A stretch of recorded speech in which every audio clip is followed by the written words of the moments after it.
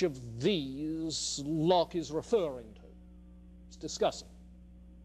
Uh, I'm inclined to think that the, um, the greatest likelihood is that he is referring to um, the Cambridge Platonists.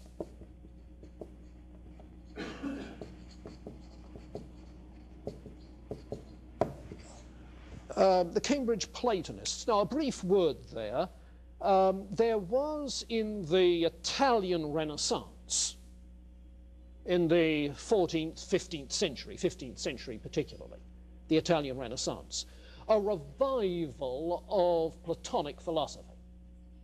Platonism having been largely eclipsed by the Aristotelian influence for a number of years, particularly in the um, Florentine Academy in Florence. Uh, you get a man with the name of Ficino uh, who um, gets cited in all of the discussion as the principal influence coming out of the Italian Renaissance on the English Renaissance. Where in England you have um, somebody like uh, John Colet in the 15th century who applied Platonism to religion and education, and others like Thomas More and Spenser applied it to politics. So you get a whole Platonic uh, revival in the Renaissance. Now, Cambridge Platonism was the 17th century successor of that Renaissance revival. Uh, the principal figure in it a man by the name of Richard Cudworth, who died in 1688, and as you see from that, was therefore a younger contemporary of John Locke. It was a movement primarily among Anglicans in opposition to two other kinds of alternatives which they very much disliked. One was the mechanistic view of nature, including human nature, in Thomas Hobbes. And even, for that matter, in um, Descartes' view of the physical world. Mechanistic science generally, they were opposed to.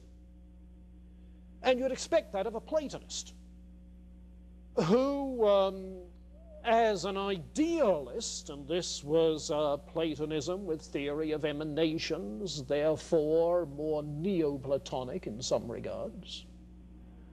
It was an idealist metaphysic which rejected the view that matter is real and has real causal powers, therefore rejected the view that causal stimuli to the senses can produce ideas therefore reverted to the theory of innate ideas in opposition to materialism and thence to, um, to Hobbes. Also um, reacting against the Calvinism of the Puritans, which they thought um, belittled human nature and just bred sectarian religious disputes. What they were saying, rather, is that by virtue of innate ideas, reason has power. You see the rule of reason still. Reason has power to know the existence of God, to know our moral responsibilities. The essence of Christianity is a moral life and the contemplation of God, rather than all sorts of quibbles about theological orthodoxy. And uh, for that, they found Cambridge Platonism amply sufficient. Innate knowledge, innate moral knowledge. The Platonic ideal is a contemplative love of the good, which is God you see. Now, it's in response to that I'm suggesting that John Locke, coming out of his Puritan background, argues against there being any innate ideas. Okay? No, our time has gone. Has it? No, it hasn't. I'm still trying to get adjusted. We've got another 10 minutes. Great. Um, that John Locke argues against innate ideas. Okay, now how does he argue? Well, you'll find um, a whole array of different lines of thought woven into the material. Basically, his point is this. If knowledge is innate, if ideas are innate, uh, they would be known universally. But, modus tollens, there are no universal ideas. Therefore, conclusion, ideas are not innate. Now, he doesn't spell it out in exactly that form. That's my logical construction of his argument. If ideas are going to be innate, they'll be universal. There's no universal consensus about such ideas. They're not innate. Oh, and he goes one step further. Even if they were universal, that wouldn't prove they're innate. It would be a non sequitur to think it is because you could explain universality by other means. Common empirical factors, for instance. Well, what does he do to justify the claim that um, there are no universal ideas? Well, uh, to begin with, um, the ideas that are supposed to be innate, ideas of God and moral ideas, are unknown to children and idiots. To children and idiots. Those, in other words, without the mental development to be able to think those ideas. Uh, and, you know, he works with the, um, the question, what does it mean for an idea to be innate? You mean it must be in the understanding? But how can it be in the understanding if it's not understood? Can something be in the understanding which somebody doesn't understand? For something to be in the understanding is to be understood, isn't it? And uh, young children, particularly, simply don't understand. Um, that's one line of thought. Um, a second is to um, point up cultural diversity. Remember the age of discovery, 16th century? Uh, cultural diversity is evident in ethics, in regards to ideas of God. So, how can we claim, if there are no universal ideas there, that these crucial ideas, for the Cambridge Platonists at least, are innate? Okay? Now, at the same time, having said that, there's um, a passage on uh, page 168 where he accounts for the idea of God um, with all of its obscurity and diversity in ways that his um, Puritan background had taught him. So um, he says at the very top of 168 um, that there is, let's see, such an idea is deducible from every part of knowledge, idea of God, for the visible marks of extraordinary wisdom and power appear so plainly in all the work of the creation that a rational creature who will but seriously reflect on them cannot miss the discovery of a deity. That's simply a paraphrase of Romans 1. The invisible things of him from the creation of the world are clearly seen, being understood by the things that are made, even his eternal power and Godhead. Uh, so it's simply a paraphrase of Romans 1. But no innate ideas.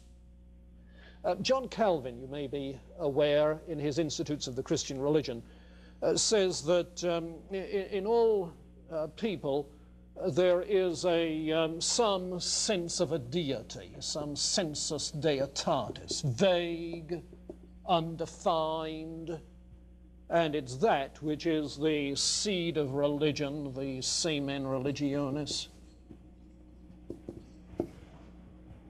Um, so that it looks to me like this is what John Locke is referring to at this juncture this sense of a deity that arises simply from reflection on the things that are made.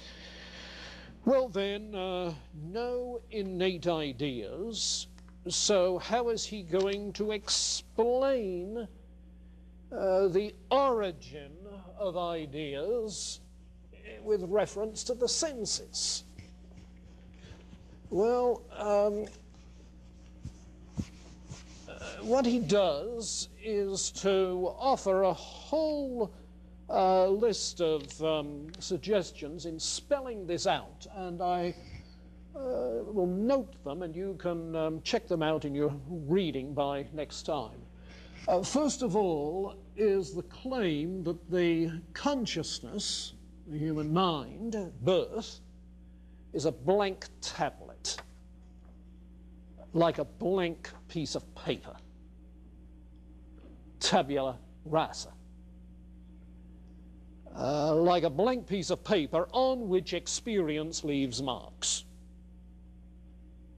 Now, that notion of tabula rasa you find as early as some of the Stoics, certainly in Aristotle, uh, so that it's part of the growing empiricist tradition. Second, um, something I've already um, pointed out, an idea is at best a mental representation. His is a representational theory of knowledge. Our ideas are representations of properties and things external. Um, then um, he distinguishes between simple and complex ideas. A simple idea would have to do with one property at a time. Complex, conjoining a number of simple ideas. So as you look at me, you see a blue shirt. Well, the idea of blue is a simple idea. Blue, shirt-like, would be a complex idea. And by the time you get the whole of me in the picture, it gets far more complex than that. Okay, simple, complex. Um, simple ideas are, as I said before, atomistic ideas, indivisible units. Yes, sir? We get ideas um, from both the internal and the external senses. You know about the five external senses. The internal is um, uh, simply reflection on our own mental states. So I can reflect on my own ideas that I have. Reflect on the blueness that I have as an after image in my mind.